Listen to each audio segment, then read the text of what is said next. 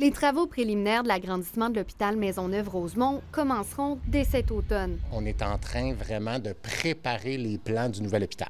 Donc, à l'automne prochain, là, on va faire la première phase des travaux préliminaires euh, pour travailler sur les stationnements, parce que le nouveau bâtiment va être construit sur les stationnements actuels de l'hôpital. Le CIUS de l'Est de l'île dessert 27% de la population de Montréal, mais compte 17% de la capacité hospitalière, un déficit qui vise à être comblé par ce projet. Jean-François Fortin-Véraud était à la tête du CHUM lors des travaux.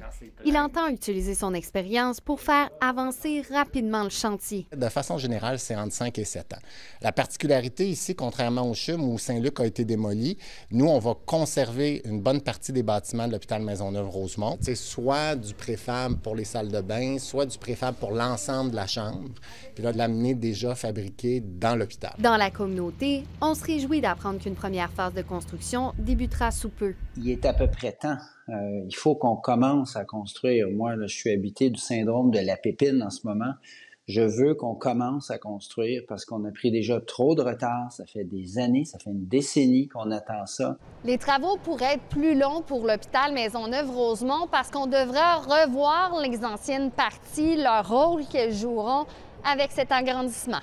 Il faut le conserver, mais juste les, étages inférieurs pour euh, faire le passage avec la nouvelle partie qu'on est en train de regarder. Et la facture pourrait être salée. De 2,5 milliards en 2021, le projet coûtera plus cher. Le CIUS n'a pas voulu s'avancer sur un chiffre. On m'a chuchoté à l'oreille 5,5, peut-être 6. C'est pas un concours pour que ça coûte plus cher, mais il faut pas se faire à croire non plus que ça coûtera pas le montant que ça doit coûter.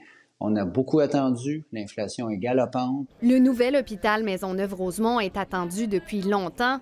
Les acteurs du milieu espèrent maintenant que ça aille de l'avant sans délai. Catherine Bouchard, TVA Nouvelle, Montréal.